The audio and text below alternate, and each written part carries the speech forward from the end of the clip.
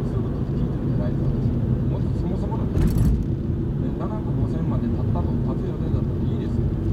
ね、出したのはそれでやってるんだから、だったら7億5000万がなければ、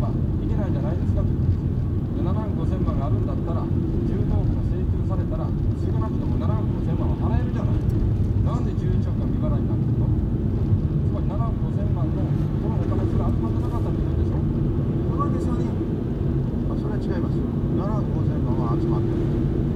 はい。7億5000万のお内訳につきましては、えー当然のことながら我々の方のおいわゆる軍資金とそして、えー軍資金と建設資金と言いますけども、はい。えーそれがえー高まってきてきておったということは、えー否めない話だと西田昌司君まあ、あのだんだん時間なくなってきたんでね、あれなんですこれ、せっかく今回はね、テレビもたくさん入ってますから言いますけれども、問題のポイントを皆さんがつくの間違ってるんです。もともと、もともとですね、無理な計画で、建てる時自身にですね、大丈夫かと言ってるんです。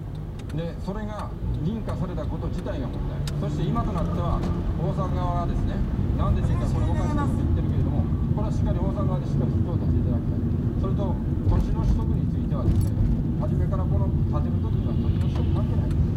定期借地権で建てる人がついてやってるんですからね、土地勘の話は全く後の話です。